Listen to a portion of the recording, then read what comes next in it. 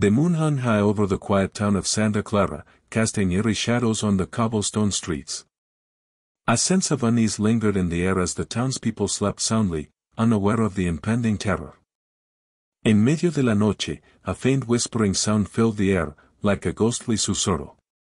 Suddenly, the ground trembled, sending shockwaves through the sleeping pueblo. People awoke in confusion, rubbing their ojos in disbelief.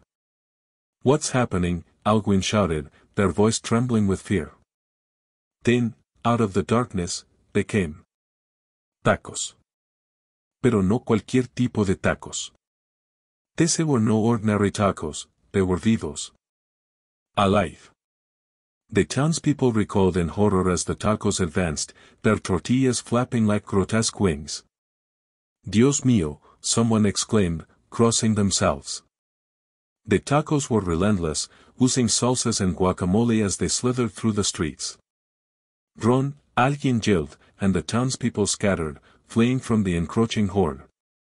But no matter como corrían, the tacos were everywhere. They filled the air with a pungent aroma that mixed with the scent of fear. We need ayuda, a voice cried out. As the people gathered in the town square, a plan began to form. We must fight back, a brave soul declared.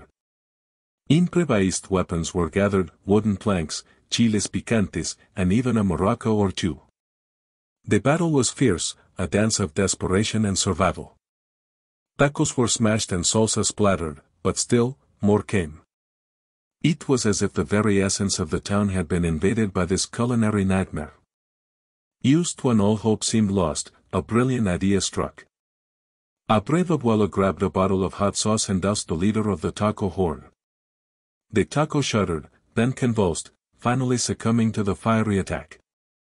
One by one, the townspeople followed suit, discovering that the tacos' weakness was their own condiments.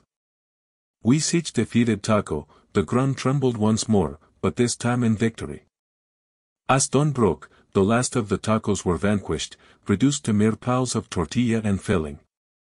The townspeople stood amidst the wreckage, panting but triumphant. Viva Santa Clara, someone shouted, and the cry was echoed by all. And so, the town of Santa Clara survived the invasion of the Vivos Tacos, a tale they would tell for generations. De Nate battled the horror con valentía y picante, proving that even in the face of the most absurd nightmares, courage and a little bit of hot sauce can save the day.